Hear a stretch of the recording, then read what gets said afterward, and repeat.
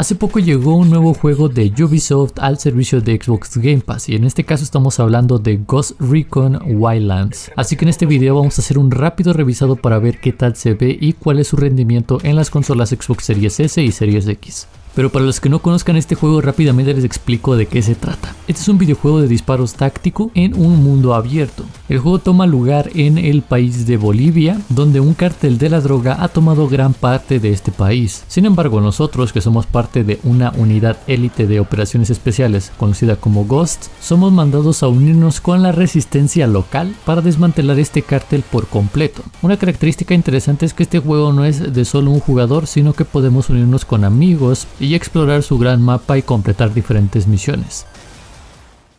En fin, una vez mencionado de qué se trata el juego, rápidamente les menciono el almacenamiento, que en este caso el juego es bastante pesadito, pesa aproximadamente 62 GB, tanto en la serie S como en la serie X. Eso sí es un juego que lo estamos ejecutando mediante la retrocompatibilidad, es decir, estamos ejecutando las versiones de la Xbox One. Este juego desafortunadamente no tuvo ningún tipo de optimización, ni tampoco tuvo ningún tipo de mejora como FPS Boost. Hablando sobre algunas otras características, pues bueno, en este caso contamos con la compatibilidad de HDR10, si es que tenemos una pantalla compatible. Y como se les mencionaba previamente, podemos jugar la campaña, por así decirlo, con algunos amigos, en este caso de 2 a 4 jugadores. Además de que un último detalle interesante es que este juego cuenta con doblaje en español latinoamericano.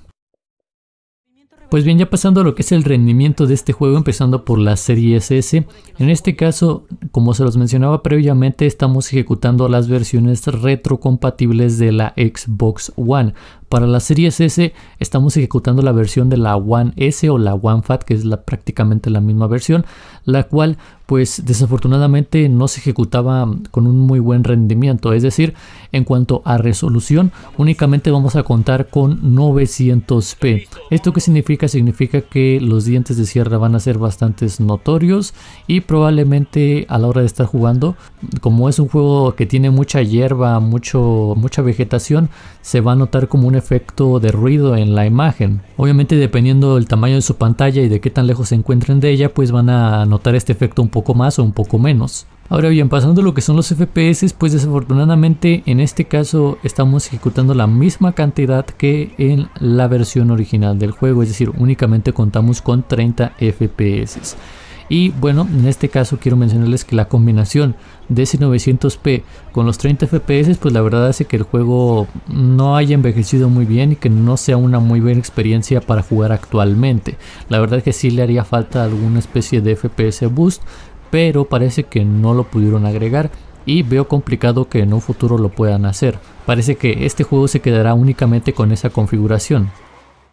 Ahora bien, pasando a la Xbox Series X, aquí en este caso estaríamos ejecutando igualmente la versión retrocompatible de la Xbox One, pero no de la One S o de la One Fat, sino, para ser más específicos, la versión mejorada de la Xbox One X. Una versión que está mejorada no solamente tanto en resolución, sino incluso en ciertos aspectos gráficos, ciertas mejoras gráficas, las cuales harán que a simple vista el juego se note con una ligera mejora. Pero sobre todo lo que le ayuda más a esta versión es su aumento de resolución, que desafortunadamente no es un 4K nativo.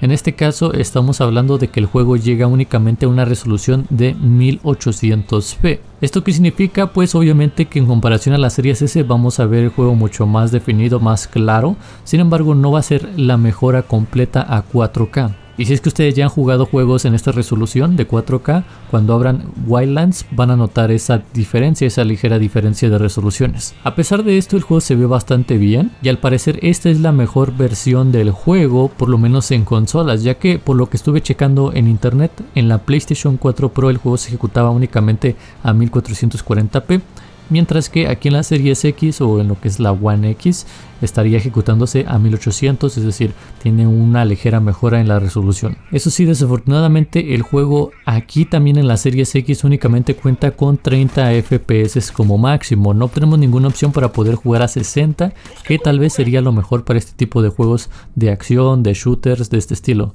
Entonces, a pesar de que el juego se vea mejorado visualmente, desafortunadamente con esos 30 FPS la experiencia no es la mejor, hablando de que estamos ya ejecutando el juego juego en la Series X. Eso sí, al igual que en la Series S, hablando de estabilidad, estos FPS son completamente estables, no hay prácticamente ningún problema para que la consola pueda mantener ese frame rate en todo momento y sin caídas. Así que por este sentido no hay que preocuparnos nada.